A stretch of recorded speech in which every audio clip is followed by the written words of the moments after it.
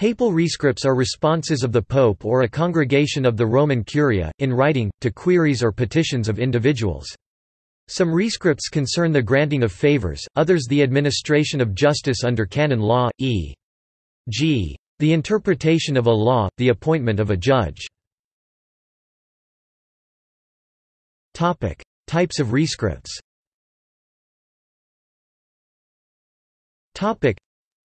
Sometimes the favor is actually granted in the rescript gratia facta, a rescript in forma gratiosa, sometimes another is empowered to concede the request gratia facienda, a rescript in forma commissoria, sometimes the grant is made under certain conditions to be examined into by the apostolic executor a rescript in forma mixta.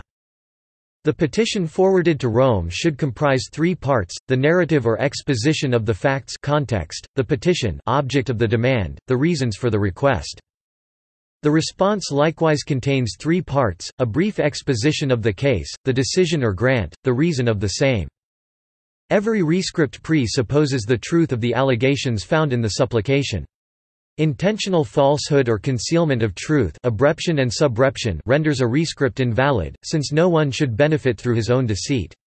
According to some, however, a rescript is valid if voluntary misrepresentation affects only the secondary reason of the grant. This is certainly true where there is no fraud, but merely inadvertence or ignorance of requirements, for, where there is no malice, punishment should not be inflicted, and the petition should be granted, if a sufficient cause therefore exists. A rescript in forma commissoria is valid, if the reason alleged for the grant be true at the time of execution, though false when the rescript was issued. When a rescript is null and void, a new petition is drawn up containing the tenor of the previous concession and cause of nullity, and asking that the defect be remedied. A new rescript is then given, or the former one validated by letters perinde valere. If the formalities sanctioned by canon law or usage for the drawing up of rescripts are wanting, the document is considered spurious. Erasures, misspellings or grave grammatical errors in a rescript render its authenticity suspected.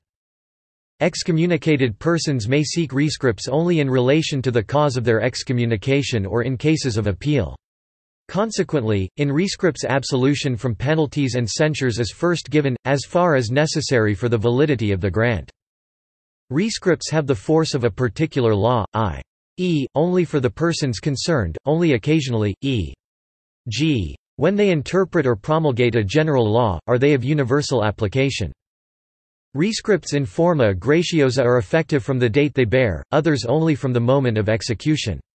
Rescripts contrary to common law contain a derogatory clause, all things to the contrary notwithstanding. Rescripts of favor ordinarily admit a broad interpretation, the exceptions are when they are injurious to others, refer to the obtaining of ecclesiastical benefices, or are contrary to common law. Rescripts of justice are to be interpreted strictly. Rescripts expire for the most part in the same manner as faculties. References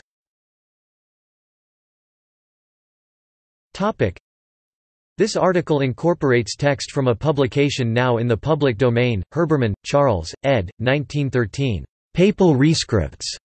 Catholic Encyclopedia. New York, Robert Appleton.